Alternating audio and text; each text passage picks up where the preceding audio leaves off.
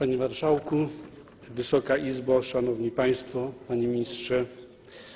Y, Przypadł mi dzisiaj zaszczyt przedstawienia obywatelskiego projektu o zmianie ustawy o ochronie przyrody z dnia 16 kwietnia 2004 roku w zakresie tworzenia i zmiany granic parków narodowych oraz sposobu odwoływania dyrektorów tychże parków.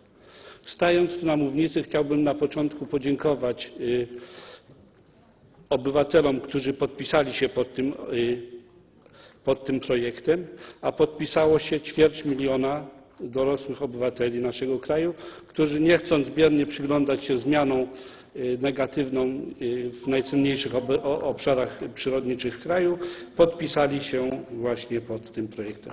Chciałbym także podziękować członkom organizacji społecznych i ich sympatykom, którzy z takim zaangażowaniem zbierali te podpisy. Przekładany projekt ustawy nie jest obszerny, zawiera tylko dwa elementy. Po pierwsze, proponujemy zmianę przepisów ustawy określających podmioty uprawnione do wydawania opinii na temat projektu roz, rozporządzenia w sprawie utworzenia, zmiany granic lub likwidacji Parku Narodowego poprzez zmianę treści artykułu 10 ustęp 2 ustawy o ochronie przyrody, który miałby otrzymać następujące brzmienie. Cytuję. Utworzenie Parku Narodowego, zmiana jego granic lub likwidacja może nastąpić po zaopiniowaniu projektu rozporządzenia, o którym mowa w ustępie pierwszym, poprzez właściwe miejscowe organy uchwałodawcze jednostek samorządu terytorialnego, Państwową Radę Ochrony Przyrody oraz zainteresowane organizacje pozarządowe. Niezłożenie opinii w terminie 30 dni uznaje się za brak uwag. Drugim elementem projektu jest wprowadzenie regulacji zmniejszających zasady odwoływania dyrektorów parków narodowych przed upływem okresu, na jaki zostali oni powołani. Proponujemy w artykule 101 ustawy o ochronie przyrody dodanie ustępu drugiego 2a w brzmieniu. Minister właściwy do spraw środowiska może odwołać dyrektora Parku Narodowego przed upływem okresu, o którym mowa w ustępie drugim, wyłącznie ze względu na przyczyny podane w artykule 52 i 53 Kodeksu pracy, po zasięgnięciu opinii Państwowej Rady Ochrony Przyrody, którą zawiadamia o przyczynie uzasadniającej odwołanie. Niezłożenie opinii w terminie 14 dni uznaje się za brak uwag. Głównym celem obywatelskiego projektu, y, y, projektu ustawy jest przełamanie impasu w tworzeniu nowych i powiększaniu już istniejących parków narodowych poprzez zmianę obowiązku uzgadniania z samorządu decyzji w tym zakresie na ich opiniowanie. Z pozoru to jest bardzo niewielka zmiana, ma jednak kluczowe znaczenie dla ochrony przyrody i jej zachowania w nienaruszonym stanie dla przyszłych pokoleń. Nie jest to też zmiana rewolucyjna, jak niektórzy uważają, bo proponujemy powrót do sprawdzonego i bardzo dobrze funkcjonującego prawa obowiązującego w Polsce przez 77 lat. To jest od 1934 roku do 2001 roku, zgodnie z którym kompetencje do utworzenia parków narodowego lub zmiany ich granic posiadała Rada Ministrów. Polska została obdarzona cennym kapitałem naturalnym jakim jest wspaniała przyroda. Różnorodność biologiczna Polski jest y, jedną z najbogatszych w Unii Europejskiej, dlatego jako członek tej wspólnoty możemy wnieść do niej bardzo cenny wkład. Ale to cenne przyrodnicze dziedzictwo wymaga należytej ochrony. A najbardziej skuteczną formą wielkoobszarowej ochrony przyrody, mającej wartości ogólnonarodowe, europejskie, a nawet światowe, są oczywiście parki narodowe. Zgodnie z międzynarodową definicją opracowaną na zlecenie Organizacji Narodów Zjednoczonych, park narodowy to stosunkowo rozległy obszar, na którym najwyższa władza danego kraju zastosowała środki do powstrzymania lub eliminacji dzia- działań, działalności eksploatacyjnej możliwie na całej powierzchni oraz dla zapewnienia rzeczywistej ochrony istniejących właściwości ekologicznych, geomorfologicznych i estetycznych. Ze względu na rangę obiektów o najwyższych walorach przyrodniczych, zgodnie z cytowaną definicją, prawem i praktyką międzynarodową, kompetencje do tworzenia parków narodowych powinny należeć zatem do najwyższych władz krajów, czyli do rządów lub parlamentów. I taka właśnie praktyka jest stosowana w większości krajów między innymi w Estonii, w Czechosłowacji, w Niemczech, w Austrii, Włoszech, Francji, w Hiszpanii, Wielkiej Brytanii, Danii, Szwecji, a także w Kanadzie i Nowej Zelandii. Inaczej jest jednak w Polsce. Tu najwyższa władza kraju nie może samodzielnie podejmować decyzji o utworzeniu lub powiększeniu parku narodowego, ponieważ samorządy lokalne mogą się na to nie zgodzić i to bez, bez konieczności uzasadnienia swojego zdania. Nie sposób wskazać drugiego państwa europejskiego, w którym funkcjonowałby podobny model tworzenia parków narodowych. W Polsce istnieją obecnie 23 parki narodowe i zajmują około 1% powierzchni kraju. Dla porównania we Włoszech jest to około 5%, 5% powierzchni kraju. W 2001 roku utworzono po raz ostatni w Polsce Park Narodowy. Był to Park Ujście Warty, a w kwietniu 2004 roku po raz ostatni udało się powiększyć obszar istniejącego już Parku Narodowego. Był to Słowiński Park. Istnieje bardzo czytelna i bezpośrednia korelacja pomiędzy procedurą prawną tworzenia i powiększenia parków narodowych, a skuteczną realizacją postulatów w tym zakresie. Zgodnie z pierwszą polską ustawą o ochronie przyrody z 1934 roku Park Narodowy mogła tworzyć Rada Ministrów stosownym rozporządzeniem i tak utworzono jako pierwszy w Polsce Białowieski Park Narodowy. Powojenna ustawa o ochronie przyrody z 1949 roku przewidywała utworzenie Parku Narodowego w drodze rozporządzenia Rady Ministrów wydawanego na wniosek ministra y, leśnictwa. Na tej podstawie utworzono 15 parków narodowych.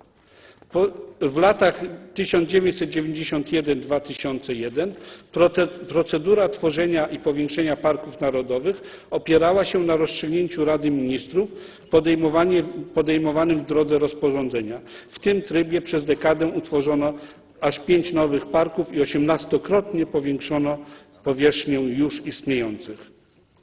Ustawa o ochronie przyrody z 2001 roku po raz pierwszy wprowadziła obowiązek uzyskania zgody jednostek samorządu terytorialnego na utworzenie bądź powiększenie granic parku narodowego. Należy zaznaczyć, że zapis ten został wprowadzony na etapie prac parlamentarnych, bo rządowy projekt nie przewidywał tak daleko idącej zmiany. Zgodnie z tą nową procedurą utworzono zaledwie jeden park oraz powiększono dwa istniejące. Obecnie obowiązuje ustawa o ochronie przyrody z 16 kwietnia 2004 roku, zgodnie z którą wymagane jest uzyskanie zgody właściwych miejscowo organów uchwałodawczych jednostek samorządu. W trybie tej ustawy nie utworzono żadnego parku narodowego i żadnego też nie powiększono. Z tego krótkiego zestawienia już widać, że przez ostatnią dekadę nie utworzono żadnych parków, choć postuluje się objęcie tą formą ochrony najcenniejsze fragmenty krainy Wielkich Jezior Mazurskich, Jury Krakowsko-Częstochowskiej oraz lasów wokół Arłamowa. Nie została też włączona do Parku Narodowego cała polska część Puszczy Białowieskiej, choć ten wyjątkowy las niżu europejskiego w pełni na to zasługuje. Nie doszło do tego pomimo licznych, mimo licznych analiz naukowych potwierdzających, że obecny stopień ochrony tych obszarów jest niewystarczający. Istniejący PAD jest skutkiem przepisów obowiązującej ustawy z 16 kwietnia 2004 roku o ochronie przyrody, a konkretnie artykułu 10 ust. 2, który brzmi Utworzenie parku narodowego, zmiana jego granic lub likwidacji może nastąpić po uzgodnieniu z, właściwymi miejscowo organami uchwałodawczymi jednostek samorządu terytorialnego, na których obszarze działania planuje się powyższe zmiany. Uzgodnienie znaczy tyle, co zgoda. Ma więc charakter wiążący, a zatem jeśli organ uchwałodawczy samorządu nie zgodzi się na utworzenie parku, to teren o wyjątkowych walorach naturalnych i znaczeniu narodowym, a nawet światowym nie może być chroniony jako park narodowy. Zgodnie z artykułem 8 obowiązującej ustawy o ochronie przyrody parki narodowe jako najwyższą najwyższe rangą formy ochrony przyrody tworzy się w celu zachowania szczególnie cennych, unikalnych bądź zagrożonych zniszczeniem wartości współczesnemu i przyszłym pokoleniom.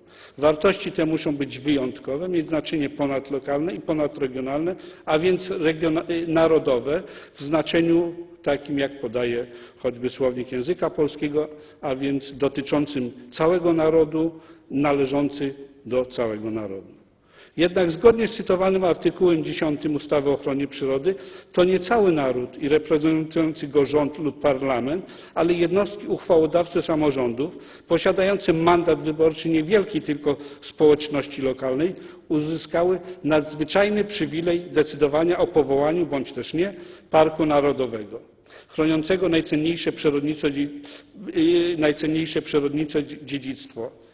Ponadto ta niewielka grupa obywateli otrzymała prawo do decydowania o własności Skarbu Państwa, bo przecież zgodnie z artykułem 10 ustawy o ochronie przyrody parki narodowe tworzy się głównie na, na nie- nieruchomościach należących do państwa.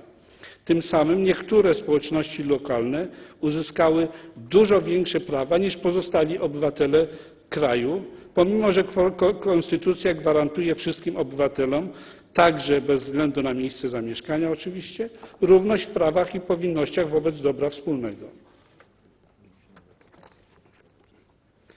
Panie Marszałku, Wysoka Izbo, składamy niniejszy projekt ustawy, ponieważ uważamy, że przepis artykułu 10 ustęp 2 obowiązującej ustawy o ochronie przyrody hamuje nie tylko proces tworzenia i powiększenia parków narodowych, ale także są niezgodne z Konstytucją Rzeczpospolitej Polskiej, zwłaszcza z artykułem 5, artykułem 146 ustęp 1 oraz artykułem 74 ustęp 1. Zgodnie z artykułem 5 Konstytucji Priorytetem Rzeczpospolitej Polskiej jest strzeżenie niepodległości i nienaruszalności swojego terytorium, zapewnienia wolności praw człowieka i obywatela oraz bezpieczeństwa obywateli, strzeżenie dziedzictwa narodowego oraz zapewnienie ochrony środowiska. W artykule tym zawarto jedną z podstawowych zasad ustrojowych, która wskazuje na to, iż Polska, chroniąc i kultywując najważniejsze wartości, powinna kierować się innymi zasadą zrównoważonego rozwoju. Zobowiązanie to zostało rozwinięte w dokumencie o nazwie Druga polityka ekologiczna państwa, przyjętym przez Radę Ministrów w 2000 roku, a następnie przez Sejm w 2001 roku. W dokumencie tym stwierdzono, że ochrona różnorodności biologicznej i krajobrazowej jest istotna dla zapewnienia bezpieczeństwa ekologicznego państwa, a zatem do władz państwowych jako gwaranta wszelki, wszelkiego bezpieczeństwa należy two, tworzenie warunków sprzyjającej sprzyjających tej ochronie. Stanowisko to zostało uszczegółowione w, w długookresowej strategii trwałego i zrównoważonego rozwoju Polska 2025. W dokumencie tym przyjęto, że stan i zasoby środowiska stanowią jeden z trzech najważniejszych czynników determinujących warunki i możliwości dalszego rozwoju Polski w XXI wieku, a jednym z najważniejszych zadań jest zagwarantowanie, że polskie dziedzictwo przyrodnicze i kulturowe przekazane zostanie następnym pokoleniom w stanie umożliwiającym realizację również ich aspiracji. W dokumencie Polityka ekologiczna państwa w latach 2009-2012 z perspektywą do roku 2000, 2016 przyjętym przez Radę Ministrów oraz uchwałą Sejmu zapisano, iż strategicznym celem państwa jest zapewnienie bezpieczeństwa ekologicznego kraju i tworzenie podstaw do zrównoważonego rozwoju społeczno-gospodarczego, a wśród kierunków działań na najbliższe lata wskaz wskazano, cytuję, kontynuację tworzenia krajowej sieci obszarów chronionych uwzględniającą utworzenie nowych parków narodowych. Koniec cytatu. W przyjętej uchwałą Rady Ministrów z y, 2007 roku Krajowej Strategii Ochrony i Zrównoważonego Użytkowania Różnorodności Biologicznej wraz z programem działań na lata 2007-2013 wskazano, że strategicznym celem jest innymi cytuję, zapewnienie e- bezpieczeństwa ekologicznego kraju oraz stworzenie warunków zapewniających zachowanie różnorodności biologicznej na wszystkich poziomach i organizacji, które wymaga działań systemowych przy aktywnym zaangażowaniu całego społeczeństwa.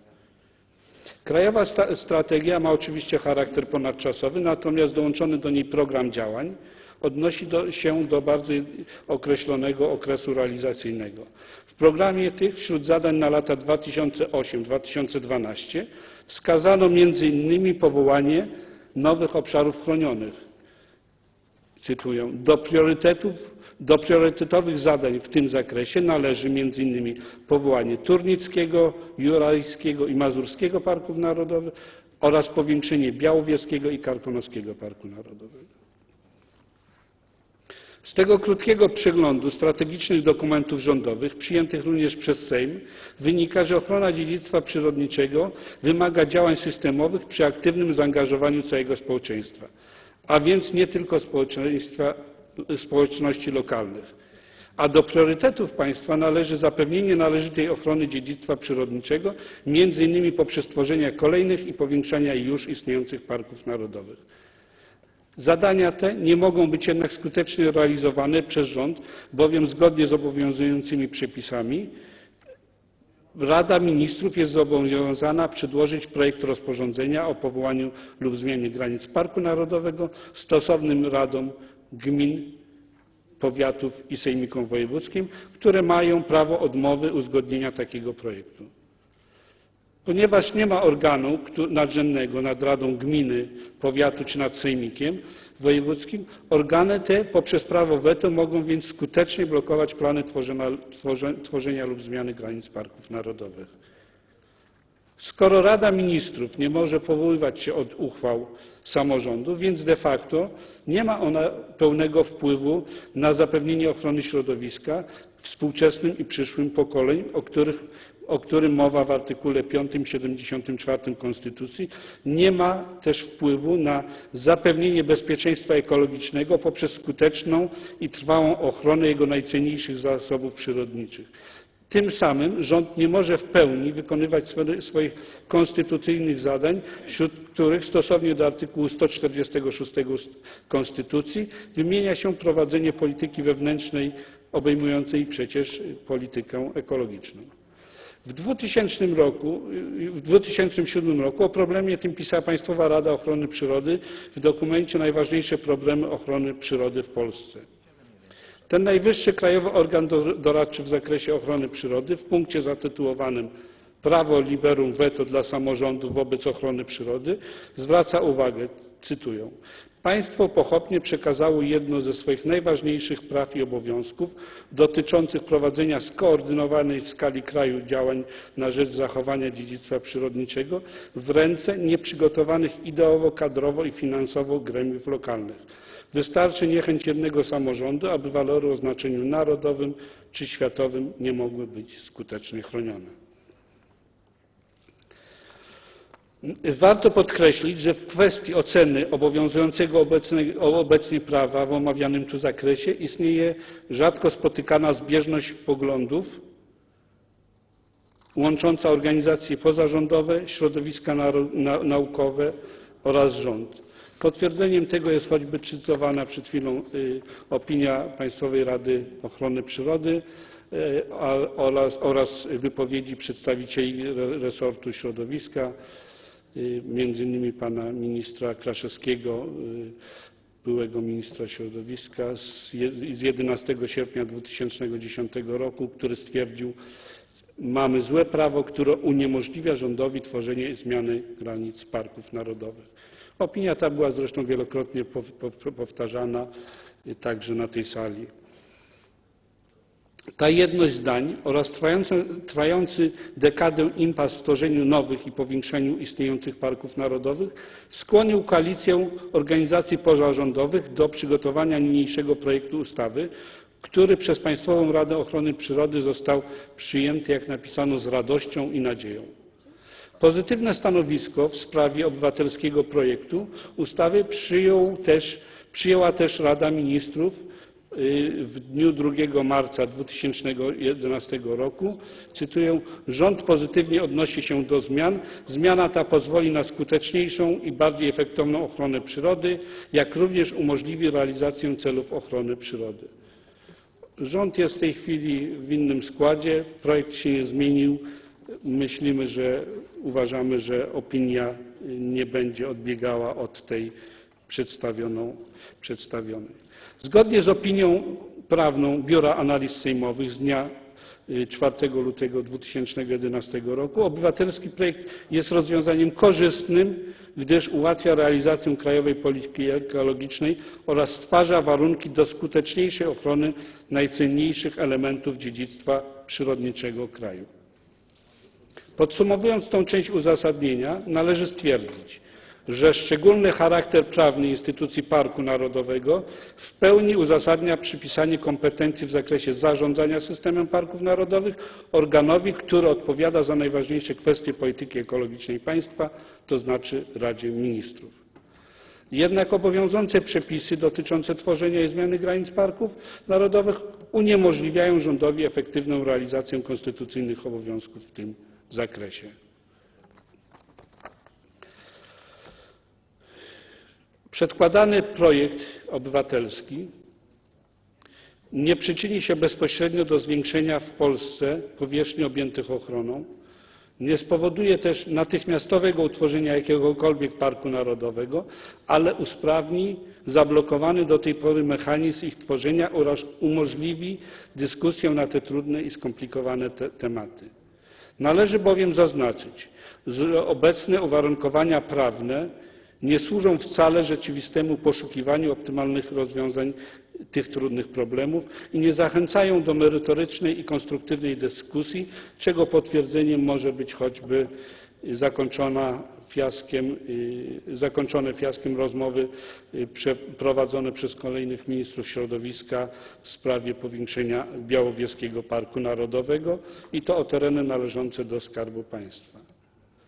Nie ma bowiem partnerstwa i dialogu, gdy jedna ze stron ma potężną broń w postaci głosu weta, natomiast pozostałe strony są bezbronne. Dlatego w obecnej sytuacji tak zwane konsultacje społeczne często mają fasadowy charakter i nie mają nic wspólnego z partycypacją obywatelską i próbą wypracowania porozumienia. Warto też zaznaczyć, że przyznanie samorządom prawa decydowania, prawa blokowania decyzji rządu w omawianej tu kwestii wykracza znacznie poza uprawnienia określone w artykule 4 ust. 6 Europejskiej Karty Samorządu Lokalnego, który brzmi: Społeczności lokalne powinny być konsultowane o tyle, o ile jest to możliwe we właściwym czasie w odpowiednim trybie w trakcie opracowania planów oraz podejmowania decyzji we wszystkich sprawach bezpośrednio ich dotyczących. Zgodnie z powyższym właściwe miejscowe samorządy terytorialne powinny być dopuszczone do głosu w procesie decyzyjnym, ale pojęcie konsultowania nie jest równoznaczne z prawem weta wobec decyzji władz państwowych. W trakcie trwającej ponad rok publicznej dyskusji nad przedstawionym właśnie, przedstawianym właśnie projektem ustawy jej przeciwnicy twierdzili, że zakłóci ona funkcjonowanie demokracji, że ograniczy samorządy, że pozbawi ich prawa do decydowania, a nawet uniemożliwi dialog społeczny. Mamy przeciwne zdanie. Uważamy, że proponowana przez nas ustawa szeroko otworzy zamkniętą do tej pory furtkę dialogu. Zresztą stanowisko to znalazło potwierdzenie w przywołanej opinii Rady Ministrów, cytuję: Samorządy zachowają w pełni prawo do decydowania o nieruchomościach będących ich własnością, a organy uchwałodawcze jednostek samorządu terytorialnego zachowają możliwość wyrażania swojego stanowiska poprzez zaopiniowanie odpowiedniego aktu prawnego. Taka forma umożliwi skuteczny dialog pomiędzy organami, bowiem opinia będzie musiała zawierać merytoryczne uzasadnienie. Dzięki temu będzie możliwy dialog prowadzący do wypracowania konsensusu. Tyle Rada Ministrów. Podobne stwierdzenie znajdujemy w opinii Biura Analiz Sejmowych, Wydaje się, cytuję, wydaje się, że słusznie podkreślają projektodawcy, że propozycja ta umożliwi prowadzenie z samorządami prawdziwego dialogu, którego brakowało, gdy dysponowały one prawem weta. Chciałbym bardzo wyraźnie podkreślić, że celem naszego projektu nie jest pozbawienie kogokolwiek należnych mu praw, w tym prawa do współdecydowania. Dlatego też uważamy, że w ślad za obywatelskim projektem ustawy powinno iść opracowanie szczegółowej procedury tworzenia parków narodowych, które powinny ułatwić wieloetapowy proces ich tworzenia i zapewnić merytory, merytoryczny dialog jak najszerszemu kręgowi zainteresowanych stron, a więc zapewnić rzeczywistą partycypację społeczną, by w przyszłości uniknąć podobnych konfliktów, jak to ma miejsce w tej chwili. Opracowanie takie, nie wymagające uregulowań prawnych na poziomie ustawowym, może być wykorzystane jako uzupełnienie przedkładanego dzisiaj projektu ustawy. Uważamy, że w procesie decyzyjnym związanym z tworzeniem czy powiększeniem parków yy, czy zmianą granic Parku Narodowego interes ekonomiczny, społeczny, potrzeby zgłaszane przez społeczności lokalne i regionalne powinny być uwzględniane w możliwie jak najszerszym zakresie, o ile oczywiście nie narażają na szwank potrzeb ekologicznych, a ostateczna decyzja oczywiście powinna należeć do rządu jako organu odpowiedzialnego za prowadzenie polityki ekologicznej. I nad takimi rozwiązaniami jesteśmy gotowi współpracować wspólnie z Wysoką Izbą i rządem. Panie Marszałku, Wysoka Izbo, drugim punktem obywatelskiego projektu ustawy o zmianie ustawy o ochronie przyrody z 16 kwietnia 2004 roku drugi ma charakter porządkujący i dotyczy zmiany sposobu odwoływania dyrektorów parków narodowych. Proponujemy dodanie ustępu 2a do artykułu 101, który nakładałby na ministra środowiska obowiązek zasięgnięcia opinii Państwowej Rady Ochrony Przyrody przed odwołaniem dyrektorów parków narodowych. Wydaje się to być rozwiązaniem logicznym, skoro zgodnie z obecnymi przepisami powołanie tychże dyrektorów odbywa się przy współudziale, przy współudziale Państwowej Rady Ochrony Przyrody. Proponowany zapis zapewni stabilność zatrudnienia dyrektorów parków narodowych oraz oddala ryzyko decyzji pochopnych i błędnych podejmowanych pod wpływem nacisków zewnętrznych. Przedłożony dzisiaj projekt ustawy został pozytywnie zaopiniowany przez Państwową Radę Ochrony Przyrody, Ochrony Przyrody która stwierdziła, Zmiany proponowane w omawianym projekcie nie wyczerpują listy pilnych korekt przepisów w dziedzinie ochrony przyrody w Polsce. Trafnie jednak rozwiązują przynajmniej dwa spośród licznych problemów i w pełni zasługują na poparcie.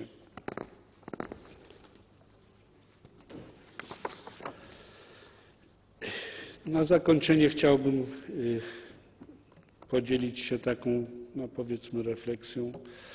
Pierwsze czytanie obywatelskiego projektu ustawy w Sejmie y, to jest takie święto społeczeństwa obywatelskiego, bo dzieje się to niezmiernie rzadko i